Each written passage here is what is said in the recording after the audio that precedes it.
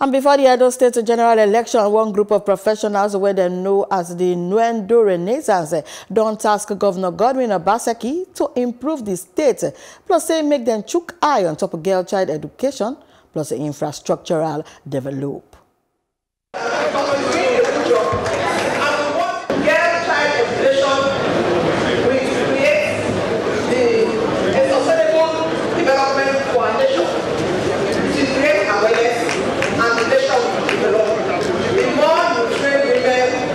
Better your country will be.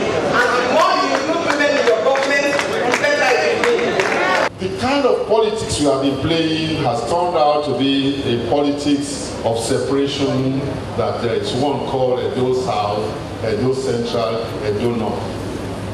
Our answer to them is Edo. Opano. Edo. Opano. Everything we do here today will be that. We're not going to resolve all the issues at the same time, but let's focus on the key ones first. And once we resolve the key ones, hopefully all the others will fall in place. And for us, the key is our people. Because it's people that create things, it's people that build societies that create wealth. So once you focus on people and you get it right, then every other thing will fall in place. So We've said we will not negotiate on education.